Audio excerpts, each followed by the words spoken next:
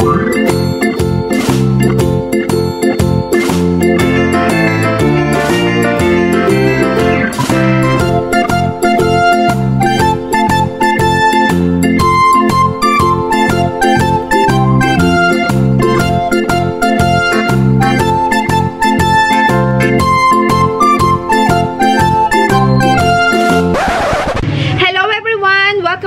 to our channel. In today's video ay magtatanim tayo ng mga Ephesia cupreata or ang flame violet na tinatawag. Hindi ko alam kung bakit flame violet ang tawag sa kanya dahil ba sa bulaklak niya. Tingnan nyo guys yung bulaklak niya. Kakapitas ko lang yan at kasi gusto kong ipakita sa inyo kung saan ba tumutubo dito yung aming mga flame violet. Before natin i-start ang pagtatanim, pagriripat at ang care tips ng ating flame violet or yung Ephesia cupreata ay dadalhin ko kayo kung saan ko siya kinuha. Dito ko kinuha yung aking flame violet. Ito kung nakikita nyo, ganyan yung itsura ng bulaklak niya. Kaya siguro siya tinawag na flame violet. Dito ako kumukuha guys. So, kukuha ulit tayo. At tingnan nyo, nandun siya sa mga bato-bato. Nagpaalam na ako sa tita ko na kukuha dito. Kasi ano siya, dati napakarami nito. Ang bilis lang niyang maputol. Kasi bala kong gumawa ng hanging plant or ha- iahang ko to para maganda siya tingnan pababa. Kumakalat pa rin siya hanggang dun yung ang dami-dami before dyan. Hanggang dun sa dulo. Hindi ko lang maano kasi may mga tanim-tanim. Tingnan natin dito sa dulo. Ayun pa oh. Dito tayo kukuha. Kasi mabilis yung tumubo dito eh. Ayan oh. Nakasiksik lang siya sa mga balde-balde. Ayan, yung tita ko mahilig din siya sa mga flower-flower. Ayan, nung nakaraan, dito ako kumuha. Kumakapit din siya sa mga puno. So, kuha pa tayo. Ito pa, oh. Ayan, oh. Diyan ako nagbunot dati, eh. Ayan. Kaya lang, ang dami-dami na naman dyan. Tumutubo na malalaki. Dinamuhan ko na nga to guys dyan, oh. Tumubo na naman. Ayun pa. Okay naman magbuhay nito. Madami na nga ako nabigyan, eh. So, So, ayun na nga po, isinama ko na kayo doon sa bahay ng tita ko at doon lang po tumutubo yung kanyang mga flame violet. Dito din sa harap ng bahay namin, ay, hindi naman sa harap, dito sa kabilang bahay namin, mga tatlong bahay yung pagitan. Dalawang variety yung kanilang ganito, isa yung parang pure pure white ba yun, tapos merong isang green. So, eto guys yung nagpa-amaze sa akin, yung kanyang dahon. Tignan nyo naman yung dahon niya guys. Ayan o. And, madali lang siyang bunutin, madali lang siyang lumago. Before, ang ginawa ko, pagkatanim ko sa kanila is pinulsan ko agad. As in, pagkatanim ko sa kanilang mga DIY pots, ipinulsan ko agad siya dito. Which is very, very wrong kasi kailangan pa rin nilang nasa shaded area lang. Mas mabilis silang dumami or mas mabilis silang mabuhay pag nandun lang sila sa filtered sun. Kasi before, yung mga pinulsan ko, hindi ko alam, same lang naman yung ginamit ko. May loam soil and pames, yung kanilang potting mix, pero namatay pa din. Kasi nga, pinulsan ko agad sila. Dapat hindi. So, iginaya ko na lang sila sa mga succulents and cactus ko. Pero, after one week pa lang, or parang five days ko pa lang silang nariripat, saka ko sila diniligan. So, yun guys. Ang una nyong gagawin, pagkatanim ng inyong mga flame violet, ay dapat after five days or after one week to make sure lang na hindi sila ma-overwatered or hindi sila malulunod dun sa mga beginner. Pero ako, hindi wala siyang one week, diniligan ko na agad siya. Tapos every other day, ini-sprayan ko yung kanyang mga leaves. Actually guys, dito sa aking mga itinanim a month ago is meron siyang mga namatay dyan. Kaya may mga space-space yan. Tingnan natin kung ano. Ayan o, may mga tuyo pa siyang mga dahon. Dito may namatay din, pero at least ngayon nakaka-recover na siya. At dito din, meron din siyang namatay dito kaya siya may space. So, binubunot ko and then, kumuha ulit ako doon sa bahay ng tita ko. Ayan, ganyan siya karami. So, libre siya dito sa place ko. Naghahanap ako ng design ng mga rooftop sa Pinterest and then nakita ko to. Accident lang na nakita ko siya na nakahang pababa. Sabi ko, hala, bumababa pala yun ng ganun. Akala ko is nakaganyan lang siya po pwede. Hindi pala guys, bumababa siya. Meron akong isang klase ng ganito dito, pero hindi po siya flame violet. Mas maliliit yung kanyang dahon. Ayan. Siya naman, ang tubo niya is pahaba, tapos kaliwa kanan yung dahon niya. Ito naman, ang tubo niya is kahit saan lang siya magano, tubo-tubo ng dahon. Magtatanim na tayo. Hindi ko alam kung saan ko siya ilalagay na paso. Kasi gusto ko siyang ihang ng papaganon, guys. Gusto ko nakahang siya ng ganon. So, ito na lang muna ilalagay natin. And then, magtitira ako ng itatanim ko mamaya para doon sa padating kong mga pots. Ito siya, malapitan guys. At ganyan yung itsura ng bulaklak niya. Look. Lalagyan ko lang siya ng mesh tape. And then, ang gagamitin kong potting mix sa aking mga flame violet ay itong loam soil na may pumice and then carbonized rice hull and cocoa dust. So, yan yung gusto nila. Kasi kung nakita nyo kanina kung papaano ko sila kinuha, nakadikit-dikit lang sila sa mga bato-bato na may konting lupa. Gusto pa rin nila ng medyo well-drained na potting mix. Start na natin kung papaano ko siya ginagawa or pagtatanim.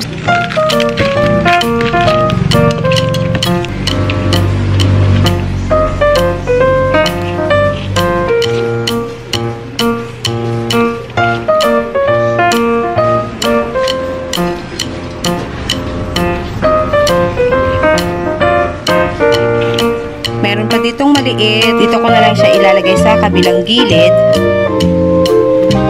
And there you go.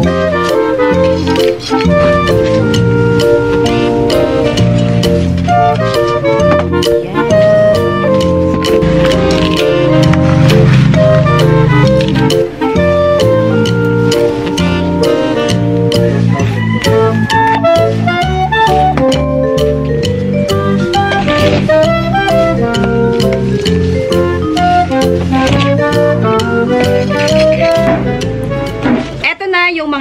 ko, tatlo lang muna at yung mga dati kong mga flame violet ay nandito lang siya sa mga gilid-gilid. Pagdating sa sun exposure ng ating mga plant na to, dapat nasa bright shaded lang muna siya ng at least 2 weeks. Huwag nyo muna ako guys gagayahin na pag ah, katanim sa kanila is ipinufulsan ko. Hindi ko na po yan ginagawa ngayon at namatay na po yung mga itinanim ko before. Etong mga nandito ay mga baguhan pa lang pero I make sure guys na 2 weeks lang stable na yan sa inyo. Pero hindi nyo pa rin sila po pwedeng paliguan sa ulan ng mas matagal. Sa pagpapaligo guys ng rainwater, mas maganda po yun. Pampataba talaga ng halaman yung rainwater. So yun yung dinidilig ko. Meron ako ditong sahuran ng tubig ulan. Pagdating naman sa kanilang fertilizer, yes, fertilizer po pwedeng Osmocoat, Nutricoat, po pwedeng wala, po pwedeng chicken manure, cow manure. Hindi ko pa siya nalagyan ng pataba. Hinaluan ko siya ng konting vermicast yung pangalawang gawa ko. Ito oh, pero itong dalawang to, since naubos na yung potting mix nila, hinaluan ko to ng vermicast.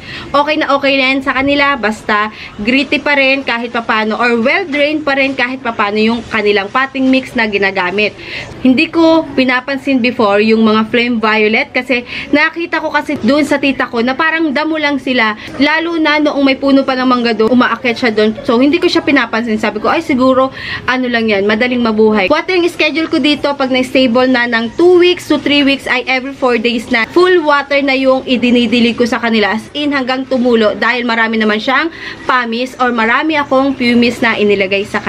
Propagation step po, pwedeng through cutting ibababad sa water or idediretso sa potting mix. Yung pagbababad ko sa water guys na na-try before na bulok. Hindi ko alam kung dahil babata pa yung yung stem na nakuha ko sa kanila kaya siya nabulok. Ako direct na agad. Kahit walang roots yan guys, tinutusok ko na siya sa potting mix diretso. At sinabi ko kanina guys na ang texture ng ating mga flame violet is para siyang may balahibo-balahibo. Titingnan ko guys kung meron pa dun sa kapitbahay na mga ganitong ibang klase. Kasi dalawang klase yung nakita ko. Isang ganito at isang pure green or mayroon siyang white din. Hindi siya, sa halip na parang dark brown tong nasa gilid, yung sa kanya ay green na green, tapos ang gitna niya ay silver. Ipapakita ko, sisilipin ko kung nandun si nanay sa harap ng bahay nila.